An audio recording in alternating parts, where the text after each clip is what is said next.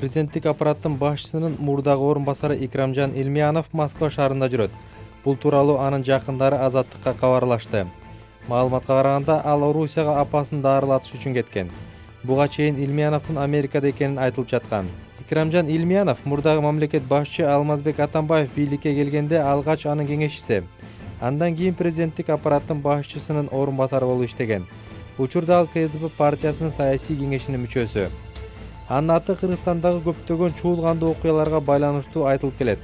Айрым маалымат каражаттары илмиянов атамбаевдин тегерегиндеги эң таасирдүү адам экенин түрдүү мамлекеттик органдардын жана жеке компаниялардын ишине кийлигишкенин жазышкан. Өзү мындай дооматтарды четке кагып жүрөт